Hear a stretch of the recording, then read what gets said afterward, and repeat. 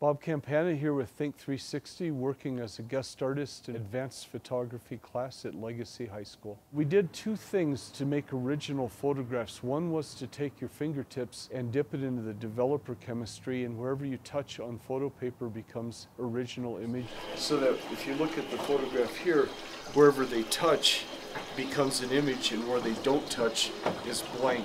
I've been a purposeful photographer for 39 years. I'm self taught in everything that I do. I learn from students, and hopefully, they learn from me as well.